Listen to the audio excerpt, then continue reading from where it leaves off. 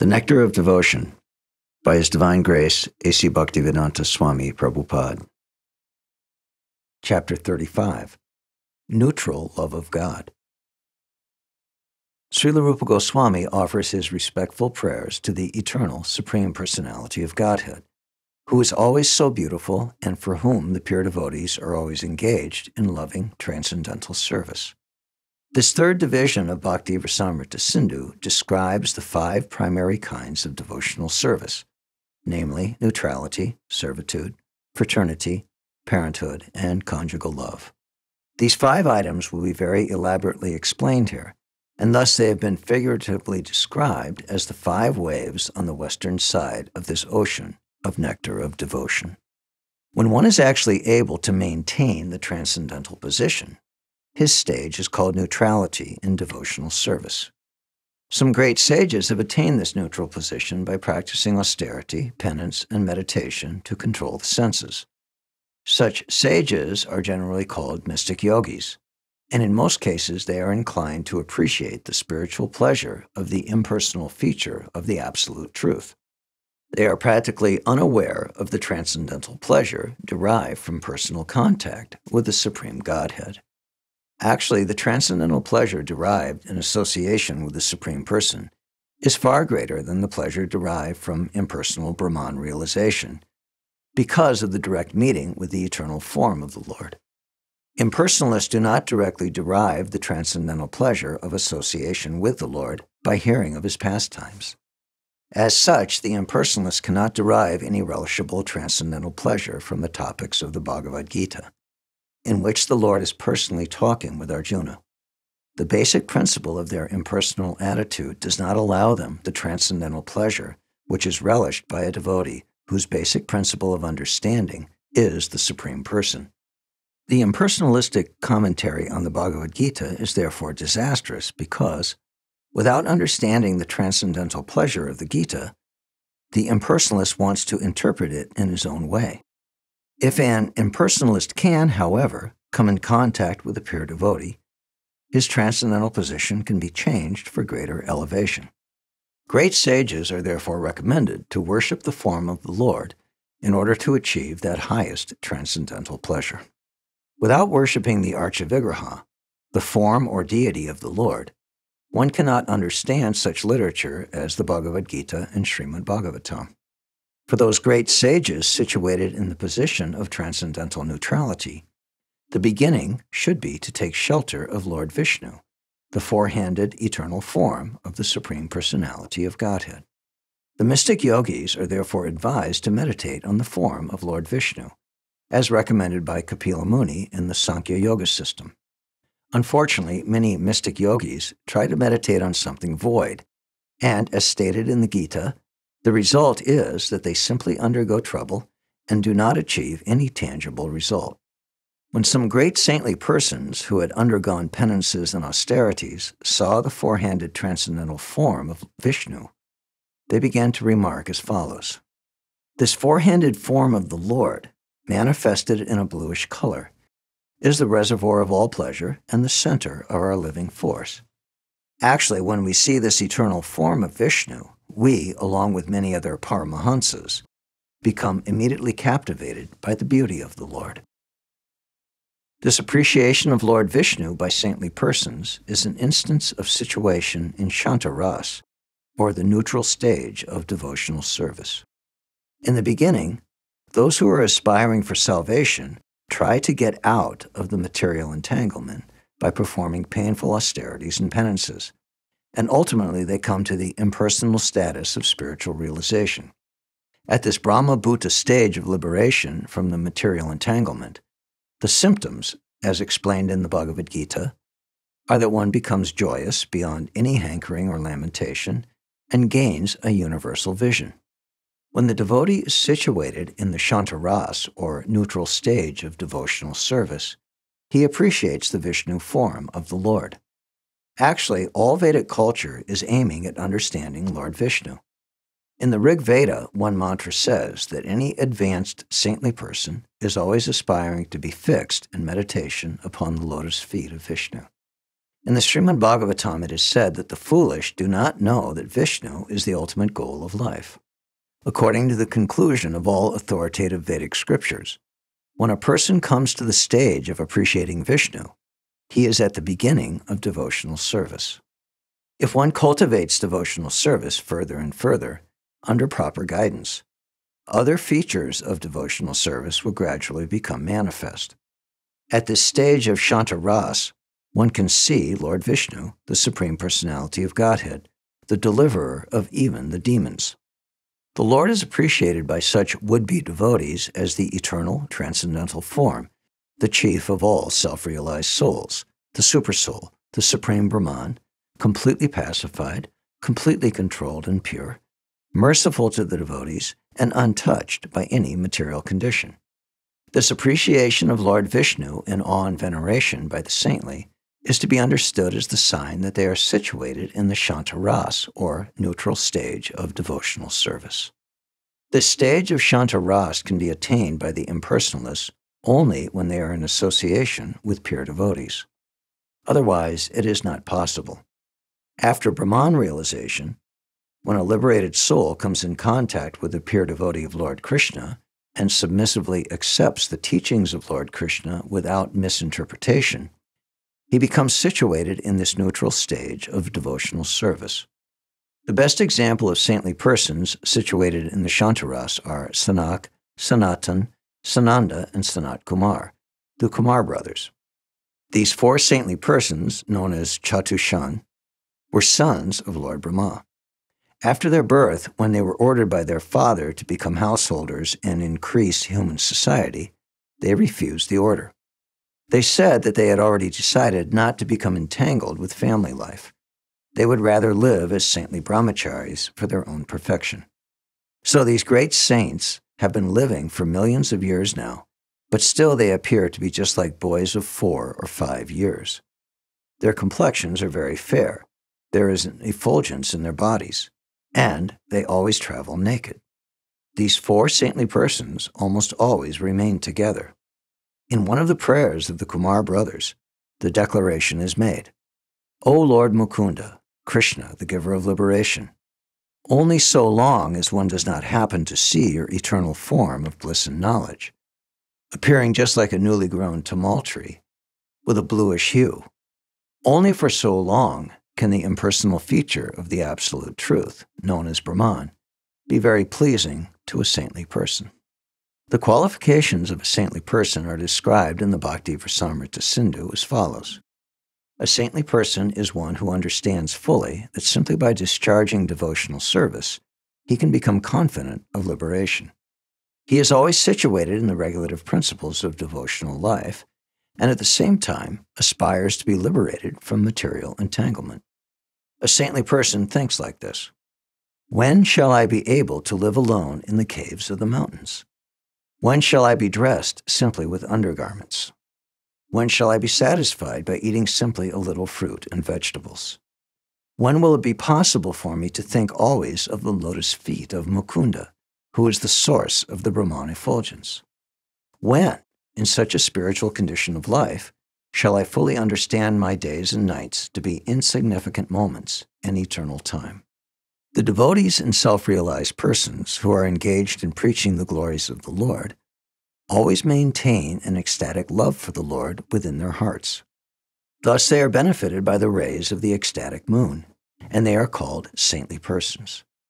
The impulse of a saintly person is to be engaged in the study of the Vedas, especially the Upanishadic portions, to always live in a place where there is no disturbance from the common people to always think of the eternal form of Krishna, to be ready to consider and understand the absolute truth, to always be prominent in exhibiting knowledge, to see the Supreme Lord in his universal form, Vishvarup, to associate always with learned devotees, and to discuss the conclusion of the Vedas with similarly elevated persons.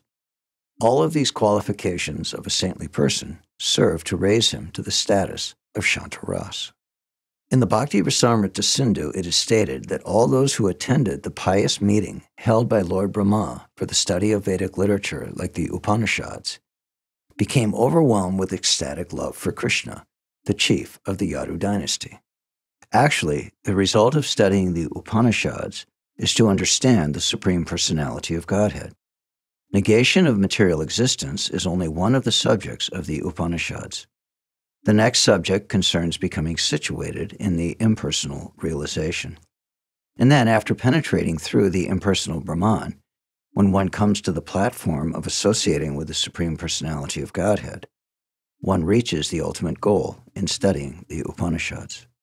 Those who are situated on the platform of Shanta Ras get their impetus for advancement in devotional service by smelling the tulsi offered at the lotus feet of the Lord, by hearing the sound of his conch shell, by seeing a sanctified place in some mountain or hill, by observing a forest like the ones in Vrindavan, by going to a place of pilgrimage, by visiting the course of the Ganges River, by being victorious over the dictations of bodily demands, that is, eating, sleeping, mating, and defending, by understanding the devastation of eternal time, and by constantly associating with devotees engaged in Krishna consciousness.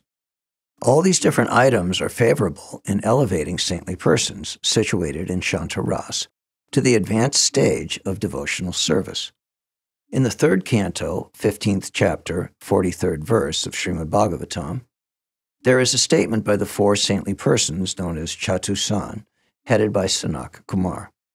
They went to visit the Lord of Vaikuntha Loka in the spiritual sky, and when they bowed down before the Lord, the aroma of the tulsi, mixed with saffron, entered their nostrils and immediately attracted their minds. Although these four saintly persons were always absorbed in the thought of impersonal Brahman, from association with the Lord and from smelling the tulsi leaves, the hairs on their bodies immediately stood up. This shows that even a person who is situated in Brahman realization if he is put into association with devotees in pure devotional service, will immediately become attracted to the personal feature of the Lord. There are certain symptoms of great sages who are situated in Shanta Ras devotional service, and these symptoms are exhibited as follows. They concentrate their eyesight on the tip of the nose, and they behave just like an avadhuta. Avadhuta means a highly elevated mystic who does not care for any social, religious, or Vedic conventions. Another symptom is that such persons are very careful to step forward when giving speeches. When they speak, they join together the forefinger and thumb. This is called the Gyan Mudra position. They are not against the atheists, nor are they particularly inclined to the devotees. Such persons give stress to liberation and detachment from the materialistic way of life. They are always neutral and have no affection for nor misidentification with anything material. They are always grave, but fully absorbed in thoughts of the Supreme Personality of Godhead. These uncommon features develop in devotees who are situated in Shanta Ras.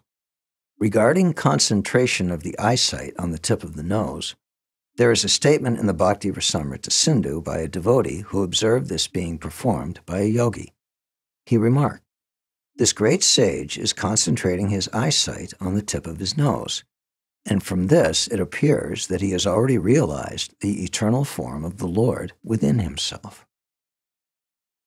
Sometimes a devotee in Shanta Ras yawns, stretches his limbs, instructs on devotional service, offers respectful obeisances unto the form of the Lord, offers nice prayers to the Lord, and has a desire to give direct service with his body.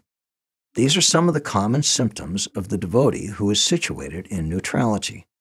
One devotee, after observing the yawning of another devotee, addressed him thus My dear mystic, I think that within your heart there is some ecstatic devotional love which is causing you to yawn. It is sometimes found that a devotee in the Shanta Ras falls down on the ground, his hairs stand up on his body, and he trembles all over. In this way, different symptoms of ecstatic trance are exhibited automatically by such devotees. In the Bhakti Rasamrita Sindhu, it is said that when Lord Krishna was blowing his conch shell, known as Panchajanya, many great sages who were living in the caves of the mountains immediately reacted, being awakened from their trance of meditation. They immediately saw that the hairs of their bodies were standing. Sometimes devotees in Shantaras become stunned, peaceful, jubilant, deliberate, reflective, anxious, dexterous, and argumentative. These symptoms indicate continuous ecstasy or established emotion. Once a great realized sage was lamenting that the Supreme Lord Krishna was living in Dwarka, but that he was unable to take advantage of seeing him. After thinking this, the sage immediately became stunned. He was thinking that he was simply wasting his time. In other words, the sage lamented because the Supreme Personality of Godhead was personally present, and he still could not take advantage of this because of his meditation. When a mystic is transcendental to all kinds of mental concoctions and is situated in Brahman, his state is called trance beyond the influence of the material conception of life. In that stage, when one hears about the transcendental pastimes of the Lord, there may be shivering in the body. When a Brahman realized devotee who has come to the stage of steady trance comes into contact with the eternal form of Krishna, his transcendental pleasure increases millions of times. One great sage once inquired from another My dear friend, do you think that after I perfect the Eightfold Yoga performance, I shall be able to see the eternal form of the Supreme Personality of Godhead? This inquiry from the sage is an instance of inquisitiveness in a devotee situated in the neutral stage of devotional service. When Lord Krishna, along with his elder brother Balaram and sister Subhadra, came to Kurukshetra in a chariot on the occasion of a solar eclipse, many mystic yogis also came. When these mystic yogis saw Lord Krishna and Balaram, they exclaimed that now that they had seen the excellent bodily effulgence of the Lord, they had almost forgotten the pleasure derived from impersonal Brahman realization. In this connection, one of the mystics approached Krishna and said, My dear Lord, you are always full with transcendental bliss, excelling all other spiritual positions. And so, simply by seeing you from a distant place, I have come to the conclusion that there is no need of my being situated in the transcendental bliss of impersonal Brahman. When a great mystic was once awakened from his meditative trance by hearing the vibration of Krishna's Panchajanya conch shell, the mystic became overpowered. So much so, in fact, that he began to bash his head on the ground, and with eyes full of tears of ecstatic love, he violated all the rules and regulations of his yoga performances. Thus, he at once neglected the process of Brahman realization.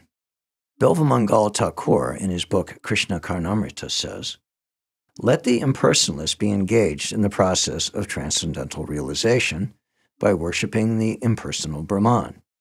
Although I was also initiated into that path of Brahman realization, I have now become misled by a naughty boy, one who is very cunning, who is very much attached to the gopis, and who has made me his maidservant.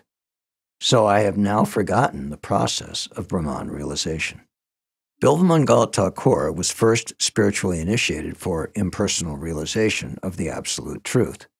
But later on, by his association with Krishna in Vrindavan, he became an experienced devotee. The same thing happened to Shukadev Goswami, who also reformed himself by the grace of the Lord and took to the path of devotional service, giving up the way of impersonal realization. Shukadev Goswami and Bilvamangal Thakur's giving up of the impersonal conception of the absolute truth and taking to devotional service are the best examples of devotees being situated in the neutral state. According to some authorities, this condition cannot be accepted as one of the transcendental humors or rasas. But Srila Rupa Goswami says that even if one does not accept it as a transcendental humor, one must still accept it as the beginning position of devotional service. However, if one is not further raised to the platform of actual service to the Lord, he is not considered to be on the platform of transcendental mellow. In this connection, in the 11th canto of Srimad Bhagavatam, Lord Krishna personally instructs Uddhava like this The state of being established in my personal form is called Shanta Ras, and without being situated in this position, no one can advance to actual pure devotional service. In other words, no one can be situated in the personal feature of the Supreme Personality of Godhead without being situated at least in Shanta Ras.